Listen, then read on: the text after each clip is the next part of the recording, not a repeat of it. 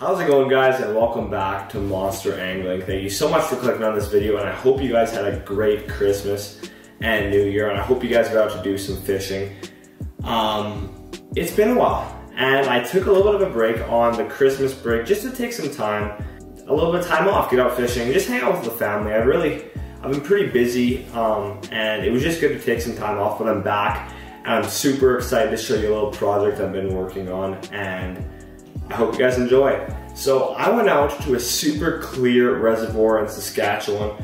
Um, and if you don't know, a lot of the lakes in southern Saskatchewan are pretty dirty. So I picked this one in particular because there's a lot of fish in it and the water is clean. You'll see why in a second. So I've had an Aqua-Vu. I've had it for about two years and it's just kind of been sitting in my room. And I thought, well, I haven't made a video with it yet. So I'm gonna take it out and get some sick underwater footage. So that's exactly what I did. And we went out and the fish were absolutely stacked on the camera, guys. And it was so cool to watch the fish and how they react. And you can learn a lot from underwater cameras. So that's kind of the point of this video, kind of teaching you guys. I thought it was a really cool example especially considering how many fish were down there. Like it just worked out perfectly. So I'm gonna keep this intro short and sweet and I'll see you guys actually after and I'll explain a bit more kind of what I was using, all that stuff. So hope you guys enjoyed the video. I'll see you guys after. Bye-bye.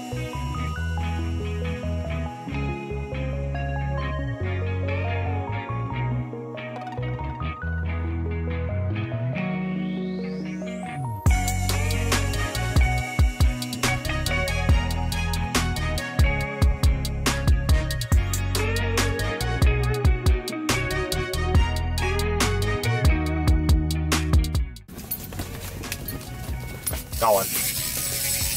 Oh, my drag's loose. He's not big. Don't worry. Jesus, that was hilarious. My drag was so loose. That was embarrassing, guys. That was cool. Well, there's the first fish of the day. Not a big one, but that's probably going to be kind of what today's going to look like. A lot of those fish, maybe a couple bigger ones. Who knows, but um, he go down. There he goes. Okay. Oh, that's a better one, on the screen there. Oh, maybe not. Maybe just close. I think so. If I get a bit overexcited, guys, it's because some fish, when they come in, they look a little bit bigger. So, you know, I might get overexcited, but uh, that's fishing. Fishing should be exciting. There's fish on me. Look at that. Look at that. Try to bring him up here. Are you kidding me? It's so cool. They're fighting over. There's so many aggressive fish in here right now, guys. That's so crazy. Look at him. Eat it. up. He didn't eat it very well. I'm gonna drop down the sand here. Unbelievable. Got him. Oh, that's so cool. He's not big, but number two and on the maggots. They're all trying to eat out of the mud. That's funny. Come on. Come on. Got him. That's a better fish. That's a, yep, that's a big fish. Bigger. Never mind. It's an upgrade, people. Upgrades. Look how tall that thing is. He's gonna be a jumbo one day, maybe. See you later, buddy. Oh shoot! Keep missing these fish. There's so many fish down there though. That's crazy, guys. Like, look at the fish down there. I didn't even have the Aqua-Vu camera running. It's a big one, biggest of the day. It's a good fish though. Here, I'll show you guys on big camera here. Alrighty guys, I just caught my biggest perch of the day. It's not a, not a, a tank tank, not a jumbo, but getting there. Super cool, uh, colored up little guy actually, but uh, oh, you spit out the mealworm.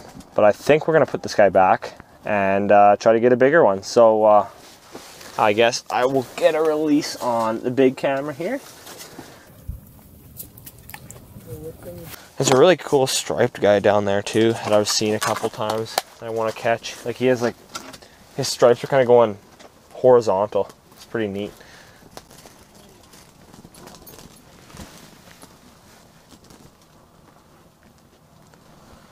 Come on.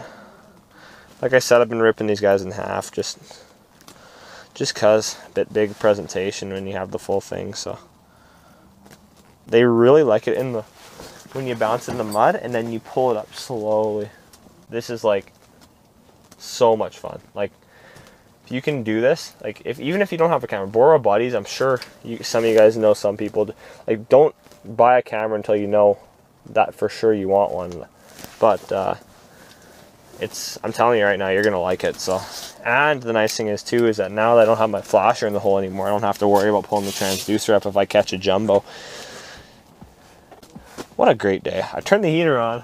I'm not being a baby. I actually kind of needed it. It was a little bit, a little bit chilly in here. Not too bad, but fish are coming. Oh. So what I'm gonna do, I'm just gonna stir it up down there, make some. Uh, make some ruckus, and you can see these fish are just, it's chaotic down there. If they don't eat out of the dirt, which I don't really expect them to because it's kind of muddy, then I pull it up and jig it away, and then as soon as I do that, then they just come in freaking, oh, I want that one. Come on. Got him. No! Oh, oh, he's staring at it. Back up. Come on. No, that little guy got in the way.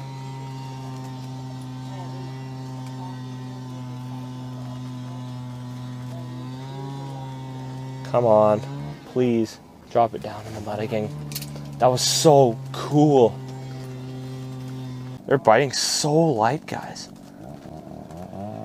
Like it's so, it's crazy. They're just pecking it.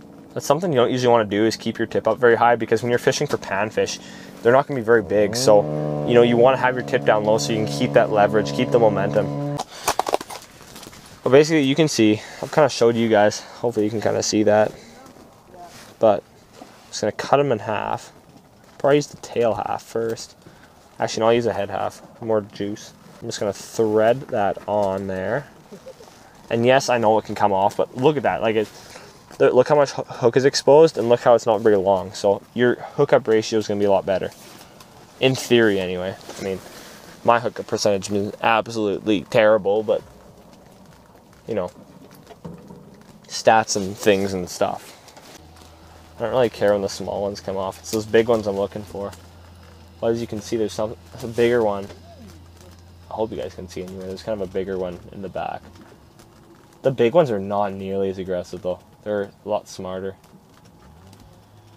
That one's coming in hot. Like, if you think about it, the bite's been slow considering how many fish are down there. Like, really slow.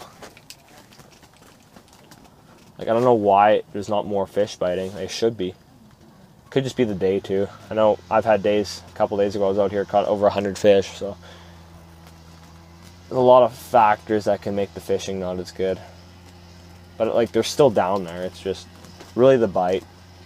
I think what we're gonna do, guys, is if the fishing is kind of slow in here, I'm not gonna hesitate and go.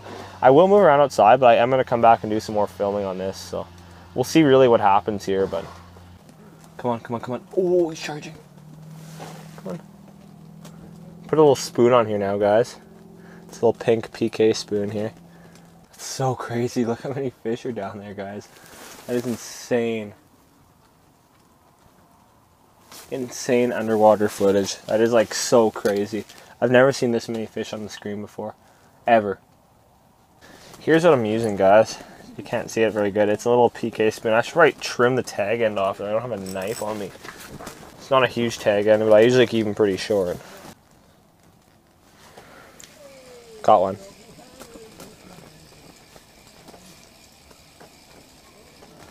What are you? Not very big cool, cool looking fish. Not big, but uh, we're working there.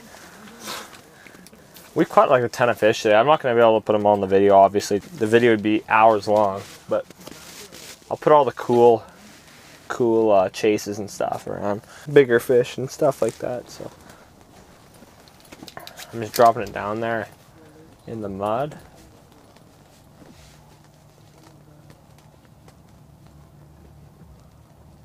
I'm hoping that the spoon, by putting this on, the bigger fish will hit it instead. It's a little bit bigger presentation.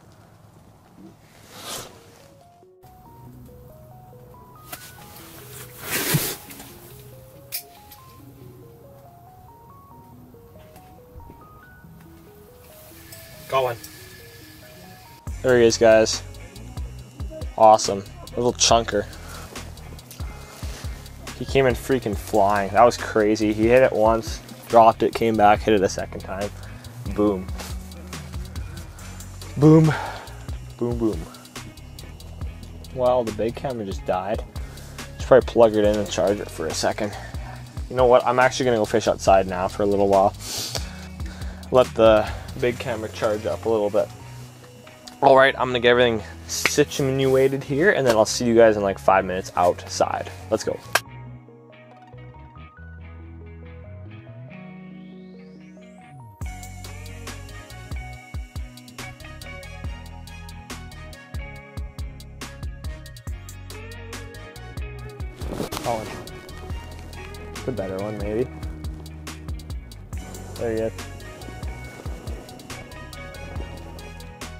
Alright guys, I'll kind of show you guys what I'm using here. So, I'll show you guys like that. That is just a little tungsten jig, little Acme. Uh, this isn't the rattling one, this is just a normal tungsten jig. I've been using that with a little chunk of mealworm. And that is kind of, the little chunk is just because I'm shortening up because these fish are being so picky. But another thing I've been using too is, this is gonna be a hard one to show you guys, but it's just a little tiny PK spoon yeah, it's working pretty good. But uh, yeah, the bite's been slow, but you know, we've still caught quite a few fish today. I'm not going to complain, but um, part of the reason that I've caught so many fish is because of my rod and my line that I'm using. So I'm using four pound test line on this uh, reel, but look how soft the tip is on that. Like it's crazy. You can really, that fish doesn't even know. Like when he picks up that hook, you have time to see that bite before. So it's just little things like that that help you catch more fish. Ooh! Look at that little guy. All flared up. He's not big at all, but see you later. That was a nice hook set. That was, that was nice. That was nice for a not nice fish. Eh, I mean, okay, the thing is, is that that's not a huge fish, but it's it is bigger than if we were fishing somewhere else. Like our average size is not that bad. Just chowed the uh, little PK spoon.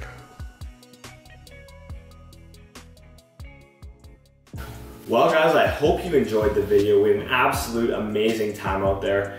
Um, and we got some absolutely insane underwater footage guys. It's too bad the fish weren't biting. Um, I've been out there sometimes and we've had like 300 perch days. So it's basically just a day. Um, you know, that lake gets pressured pretty hard and that's kind of why I stay away from that body of water. Um, but you can always go out there and catch something. And there is big fish in there too. We saw some tanks on the underwater camera and it's just so much cooler watching them on the underwater camera. Um, but, you know, it was just crazy. But we ended up catching a lot of small fish that I just didn't even put in the video. Um, the whole point of the video is more showing you guys the fish on the camera than showing you guys actually me catching fish. And it, I thought it turned out absolutely great, guys. Like there were so many fish on me. There was times I couldn't even see my hook because there were so many fish down there. So if you guys are looking to get an underwater camera, um, there's a lot of options. Just like that video I did a couple videos ago, I was kind of talking about the sonars you know, there's a huge range of prices, guys, and you can go cheap, cheap, you can go really expensive, there's all that stuff. Um, I will link the one I have in the description because I think it's a very, very good model and um, it's around 450 bucks. So you're not blowing all your cash at once, um, but it just, it's obviously great. You guys saw the quality of footage it takes. So yeah, I thought it, I think it's an absolutely great camera, but uh, you know, I'll link a couple down there. You guys can check them out all, but that one has been very, very great for me. So uh, yeah, if you guys are looking to take out kids, perch fishing is absolutely great uh, way to get kids into fishing, guys. You know, you'll have a great day you know, a lot of kids don't want to sit on the ice all day when you're fishing for walleye, fishing for pike. Um, a great way to get them started is fishing for perch. So, um, you know, once you get kids hooked, they're gonna be hooked for life. So just uh, keep that in mind if you're thinking of bringing out children and bringing out somebody who doesn't fish very much. Perch fishing is a great option, especially when you have an underwater camp. But uh, yeah, I hope you guys enjoyed the video. Thank you so much for watching. I really appreciate it, and I'll hopefully get back to uploading a bit more frequently for you guys. Um, but uh, yeah, we'll see you guys later. Make sure to like, comment, and subscribe if you're new to the channel. And I'll see you guys on the next fishing adventure. Take care, guys.